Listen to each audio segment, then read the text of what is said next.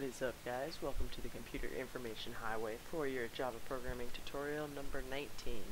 And here we're actually going to be starting a new project. We're going to be creating a sort of like a GPA calculator. It's going to average out our it's going to average out our GPA for our class. We're going to be basing this on an A through F scale. And we're going to be yeah, we're going to be calculating our GPA. So we're going to be introducing some new concepts in this. If you follow along, this is going to make understanding this really easy, and we shouldn't have any problems. So let's get started. The first thing that we're probably going to want to do is we're going to want to print a message out to the screen. Let's just say, uh, well, I guess one of the first questions we would ask is how how many classes do we have? So how many classes are we averaging. Alright, so if we're going to be asking a question and we're going to be looking for input, you probably already realize that we're going to need we're going to need a scanner object. So we're going to use scanner in equals new scanner system. I wish I could type today. Scanner in, yeah, system.in, alt enter, enter. And so we got system in. So let's get our input. We're going to want to create a, we're probably going to want to create a variable to store this so we can use this in other places. So let's just say uh, int class count equals in dot next int, right? So that will keep that will keep a tally of our class count. And then now it's now now what we're gonna do is we want to get all of the we want to get all of the information um, from it. And in order to do that I think it's probably best if we create a new function. So we got public static void get um, we want to get classes yeah. Right. Cool. So we have this new function get classes and what we want this to do is we're going to be collecting all of our all of our classes. We're, we're, we're going to get all of the grades for our classes. So then we need to find a way to store this and we want to be able to use this later on. So what can we do with this? so if we have, so the first thing I guess we should ask is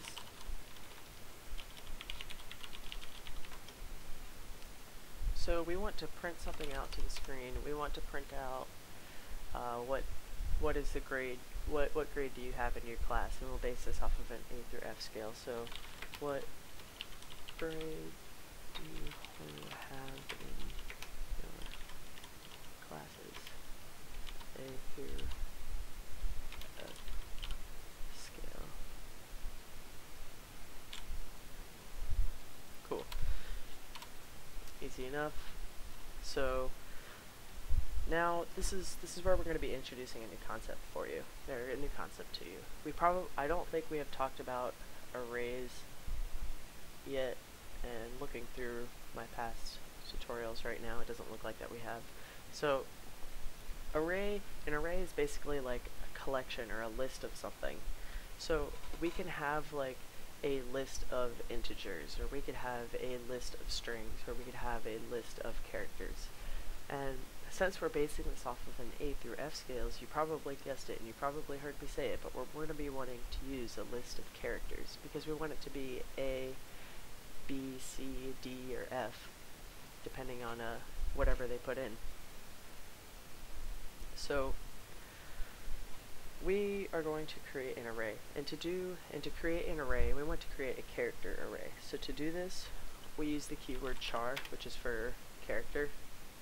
And then we have to uh, we have to name we have to name our variable. So let's just call this grades.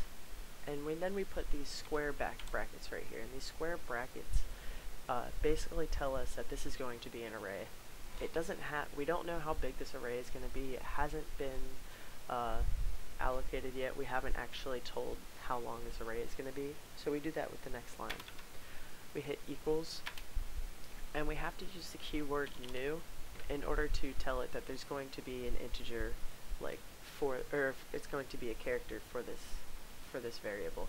So we have to do new char, and then we have brackets here, and we have to put the, we have to put the length in these, uh, the length in these brackets right here, so that it knows how many, how many, how many items are going to be in the list, because it doesn't, it doesn't just add items to a list, it has to define how much memory it's going to be taking up ahead of time. So to do that, we just type an integer in here. It could be, uh, and it would normally be like number 1 through 6, or it would probably be 6 or 7 depending on this program. So we're going to say 6 for now, and we're going to put a semicolon at the end. And then I'm only putting the 6 in here so it's not airing out. I'm going to show you what, what we're going to be, how we're going to be making this a little bit more dynamic. Because we asked how many classes we're going to be averaging. We can just use that, we can create a parameter right here, or we can create an argument. Let's say int num classes. Alright, int num classes. And then we can just pass in this num classes right here and that will let us create the length and it will make it dynamic based off of what the user put in and having a dynamic program is probably one of the best things you can do you never want anything to be uh, hard, hard coded in if you can afford it and basically hard coding is whenever you give it like a specific length or you tell it to do something like so specific that it doesn't it, it doesn't change based off of different uh, like different scenarios. Like if somebody were to put in the class count, in this situation we have hard coded in that the length is 6 and it doesn't actually matter. And we're trying to avoid that. We want it to be dynamic. So if we have uh, this here and we include num classes right here, we can go ahead and define the length of that. And that will that, that that's that's that's how we create our like collection or that's how we create our list. It's not an actual collection. Uh, we'll learn about collections later on, but for all intents and purposes, you can just say this is a list of characters that we're calling grades with length num classes, which is coming in from this variable up here. And oops, and we can do that by just saying get classes and pass in class count. There. And that's how we'll pass that argument in. You just pass in the variable that we're using. Since it follows the right variable type, we can pass it in through here. And we can use it, and it's going to fill in the length of what this is going to be.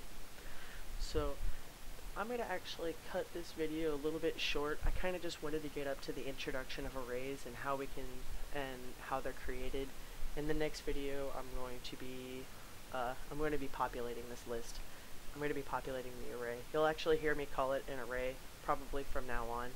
Um, just get used to the terminology. You'll probably hear a lot of it.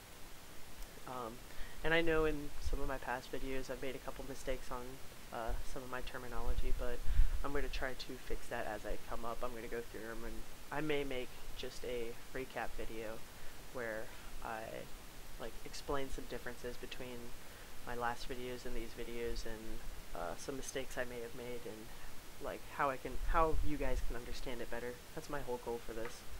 So in the next video we'll be continuing on this, we'll be populating this array and we'll be doing maybe a couple more things. So I'll see you guys in the next video.